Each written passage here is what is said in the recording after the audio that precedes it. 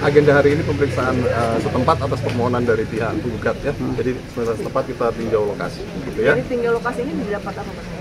Eh, itu semua nanti ada dalam berita acara tertuang dalam berita acara. Nanti silahkan uh, kalau ada minta keterangan lebih lanjut dengan humas. Ini Ya, sudah berapa sih Pak?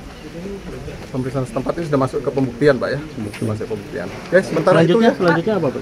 agenda berikutnya tambahan bukti dan saksi dari pihak tergugat Tanggal Uh, tanggal 22 22.